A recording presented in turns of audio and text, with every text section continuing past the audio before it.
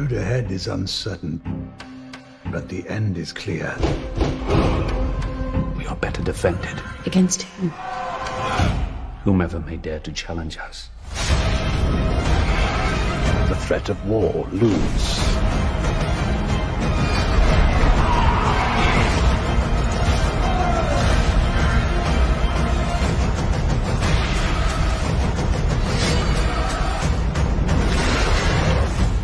The gods have yet to make a man who lacks the patience for absolute power, Your Grace.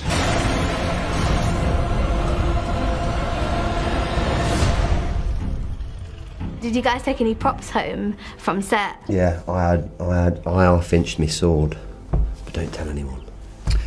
I, I nicked one thing. Well, actually, I was given it, so I didn't nick it. I've been telling the porky there, like it's a funny story, but I, I did take it home. Yeah. But they knew I'd to taken it. I was given my sword. Yeah, I got nicked a couple. Of, I nicked a couple of things, but they knew they'd gone, and they went On "Oh, the pinch." What have you done with them? And I went, oh. But they, I got something at the end, yeah, but not my knife. I want my knife. I still want my knife. Give him the knife, for God's sake, give him the knife. Give me the knife. Oh no, we would have a lawsuit on our hands. Oh, definitely. We want some other actors with gifted. Gifted thing? We we did not. We we no, got nothing. we're not. That no. No. We should have stolen. I wish though. We should have stolen something. Don't say that. Okay. I wish I had now. I didn't really know that was an option. The- the- Stealing. I didn't know stealing was an option. Yeah. yeah. I would have taken like a chalice, um, or we have these these marbles in the small council chamber, which we put on like a donut to signif- to signify that you know we're on record here. And I had a really nice one. It was really weighty, and it's I would have taken that because it's fun to just like you know whip them at each other and play like big marbles.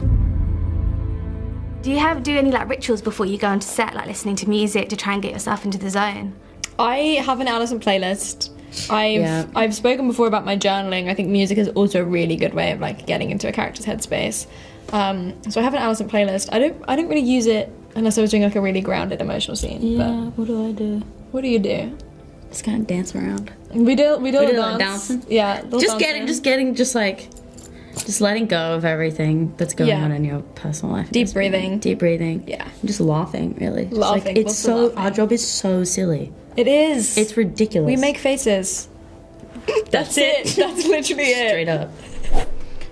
Honestly, I think the sort of um, uh, hair and makeup is part of that ritual for me. Um, because it sort of functions like a kind of airlock um, between you and this character you're going to play for the rest of the day. Um, and like the wig in particular for me is so transformative as an object. Uh, as soon as you leave the makeup trailer, you are met differently, you're read differently, you're treated differently, and you behave differently. Um, so I'd say that's my ritual. Everyone says Targaryens are closer to gods than to men. But they say that because of our dragons. Without them, we're just like everyone else. What we really tried to do was create a world where dragons existed. At this point in the history, there have never been as many dragons in the world since the time of Old Valyria when there were a thousand dragons alive. That's quite a lot of dragons, but, you know, dragons are born, dragons die, dragons hatch. George really wanted the dragons to be colourful. I thought that was great. The, the idea that dragons are reptiles, and if you look at reptiles, they traditionally have very, very colourful coats. In the original series, dragons had lived at that point for 150 years, and when they're born, it's this miracle. Blood of my blood. Whereas in our world, not everybody has seen a dragon, but they are around, and they certainly, if you live in King's Landing, you've seen many of them fly overhead. The core of any Targaryen is a dragon. They're extremely powerful, and without them, we would not be the house that we are. They're treated with fear and reverence and awe, but they're also used as threats. There's a kind of detente that exists when a force has such an overwhelmingly dominating power like dragons. They're weapons of mass destruction. The reason that the Targaryens are considered as being closer to gods is because of their dragons. You got the dragons. Are you going to use the dragons? Are you going to burn entire cities and armies or try to? That's a big step for any king or lord or, or, or claimant to try to take. We also want to have the dragons be their own characters. The first dragon you meet is Syrax, which is Rhaenyra's dragon, who at this point is a young adult. Syrax was hatched to Rhaenyra when she was a child. I think the dragons that are born to their riders have a share a deeper bond than any of the other dragons. We kind of approached her like a bird of prey. So she's an eagle. She's built for speed. She's very proud and honorable. Caraxes, the bloodworm, Daemon's dragon, is quite another thing. Vicious, some would say, short-tempered. Yeah, maybe the dragon and the rider have a little in common there. Save me! Ah! Caraxes has burned a lot of people and seen a lot of battles, and has earned that name of the bloodworm.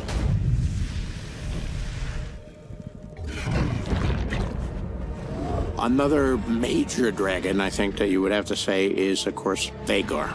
Vhagar is the oldest, largest dragon in the world. Certainly the largest dragon you've ever seen on Game of Thrones. Queen Alicent's second son, Aemond, claims Vhagar, an act that actually inflames the dislike between the two branches of the family even more. Vhagar is kind of old and falling apart a bit. The way we've approached dragons in this story is to say that dragons never stop growing. They just essentially grow until they die. And part of their death cycle is getting too large, too big for the world. And Vhagar is so large that she doesn't really fit anywhere anymore. We, in, in our story, she doesn't even fit in the dragon pit anymore because she's grown so large. And that's created a bit of a loner personality to her. And she's very grumpy. She sleeps a lot. You know, she's like an old cat.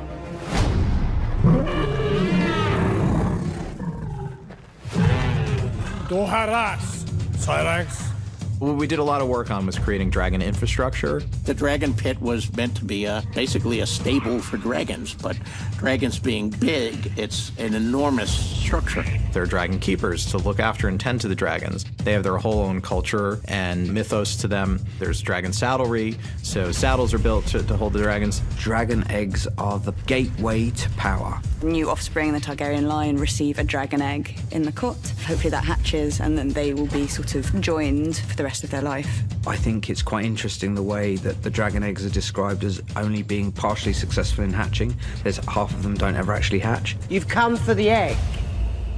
Here it is.